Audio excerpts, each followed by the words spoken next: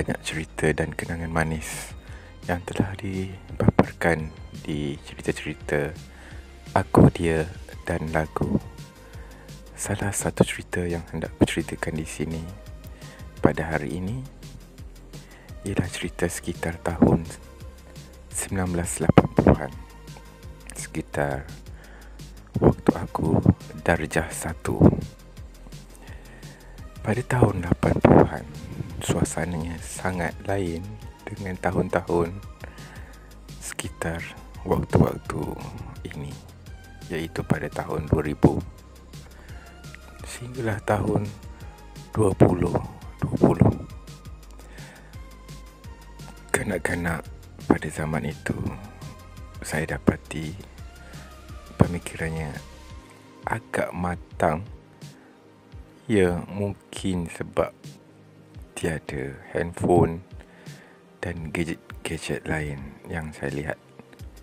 Tetapi waktu itu sangat terkenal dengan permainan-permainan Transformer kereta yang boleh bertukar wajah menjadi robot.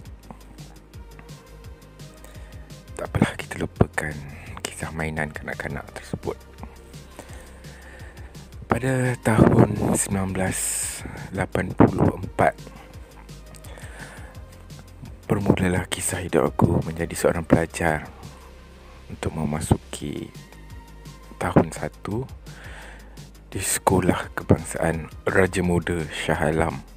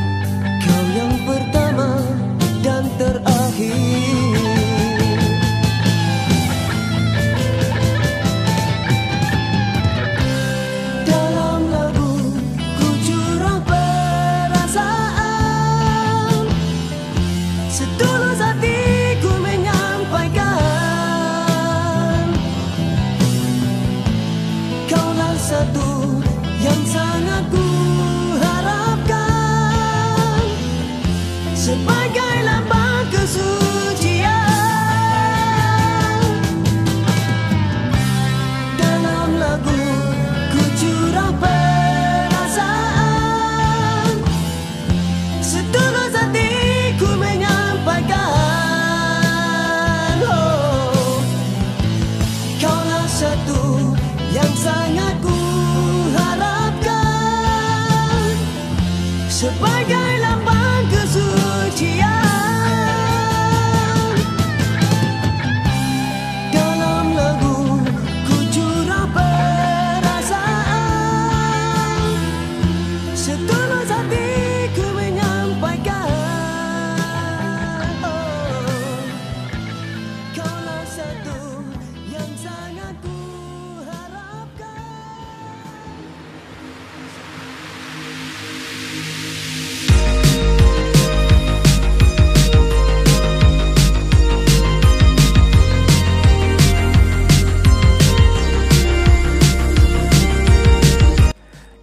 dibesarkan oleh ibu bapa yang bekerja dan tiada masa untuk menghantar aku ke sekolah pada waktu tersebut.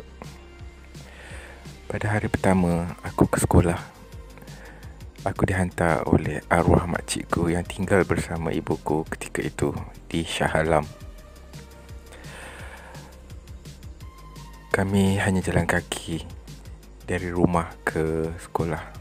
Sekolah taklah jauh daripada rumah.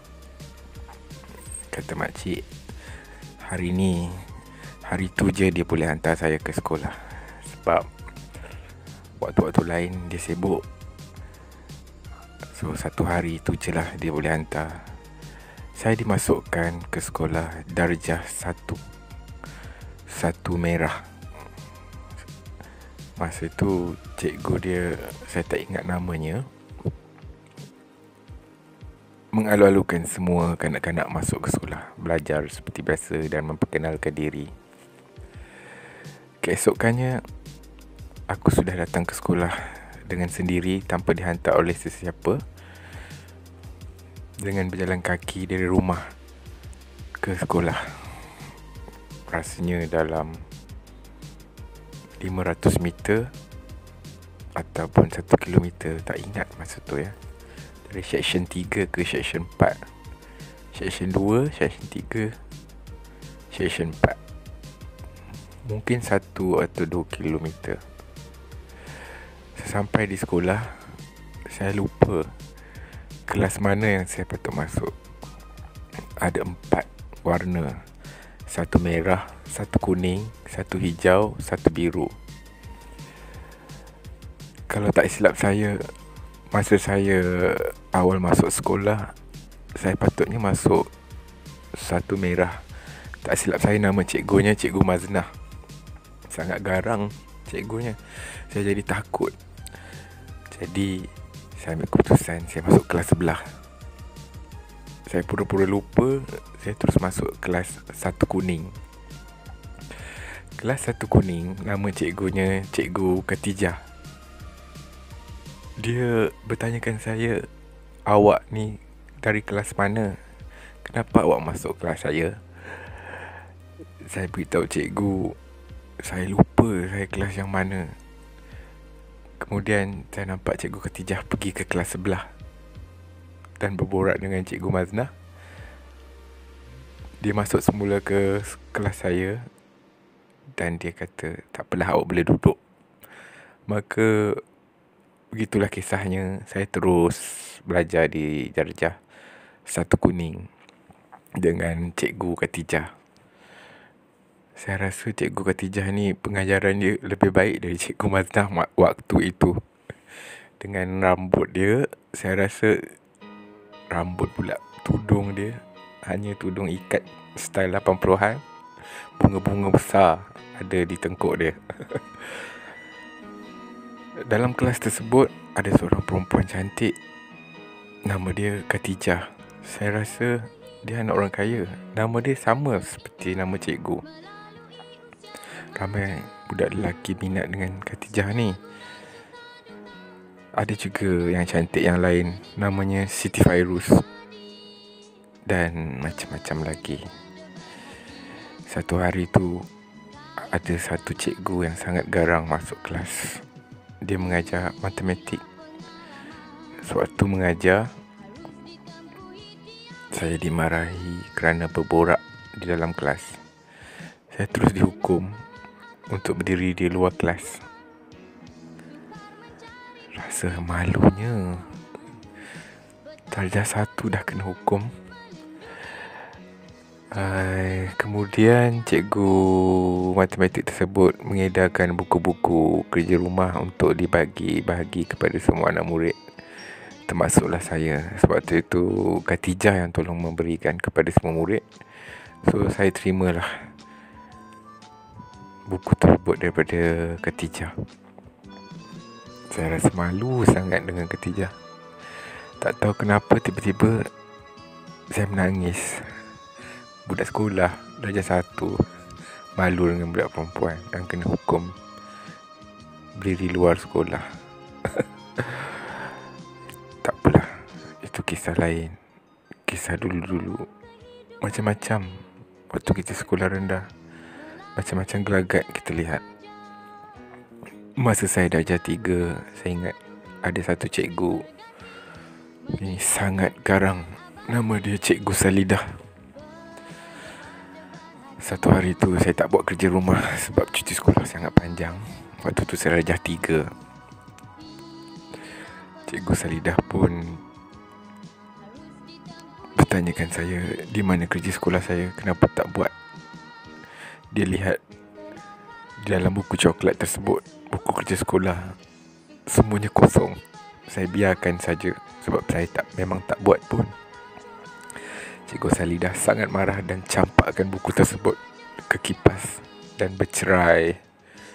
Kertas-kertas tu bertaburan satu sekolah, satu kelas. Ish, teruk juga kalau fikir masa sekolah rendah dulu ya.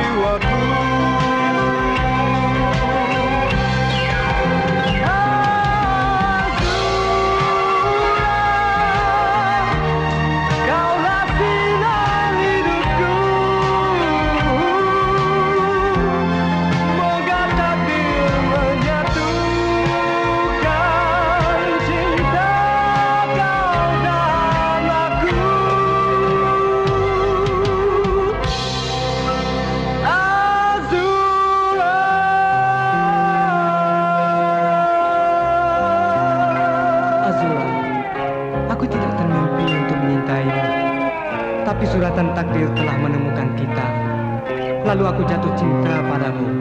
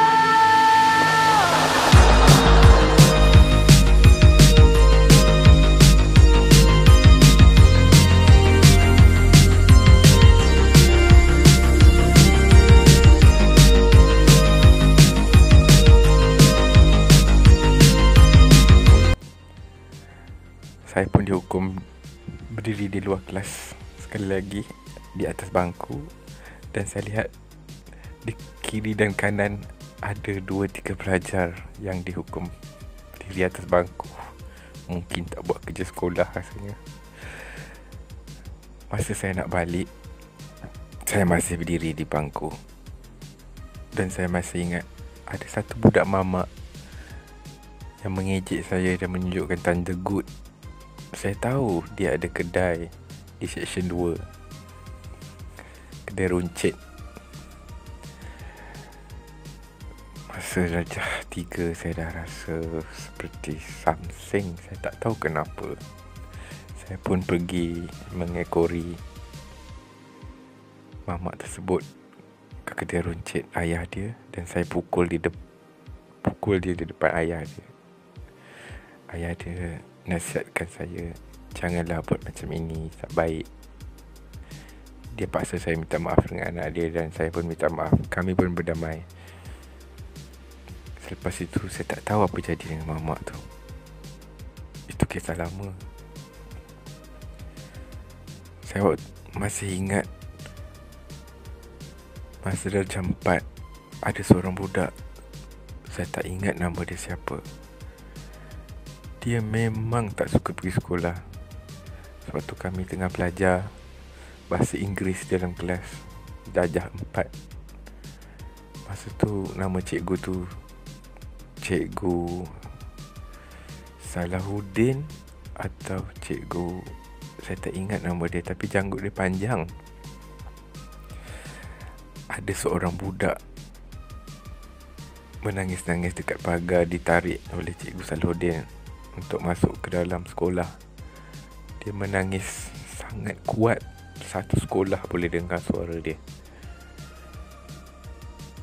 Teruk sangat dan amat memalukan. Saya tak tahu kalau dia masih ingat apa dia buat masa kecil dulu.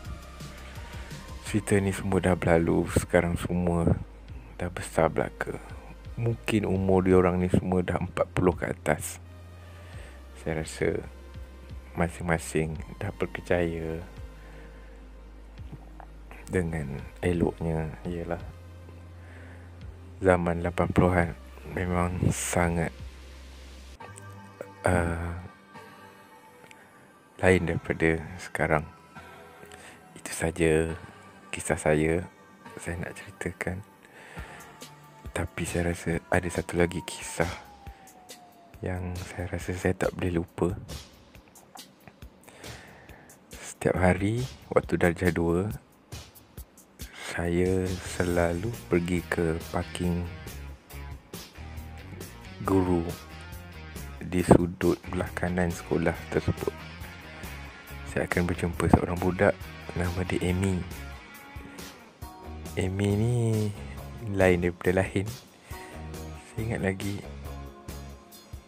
kami selalu berdua. Ke mana saja kami pergi. Dia mempunyai seorang sepupu, sepupu nama dia Rozana Wati. Eh, tak silap saya Rozi Wati. Satu hari saya ber, saya bergaduh dengan Roziwati dan dia tak kasih saya kawan dengan Amy. So saya pun dah tak kawan dengan dia masa tu. Sampailah saya berpindah ke Kelang apabila mak dan ayah saya dipindahkan ke pejabat baru. Saya rasa suasana Shah Alam dan Kelang pada masa itu sangat berbeza dan bermulalah kisah baru kehidupan kami di Kelang, Selangor. Hati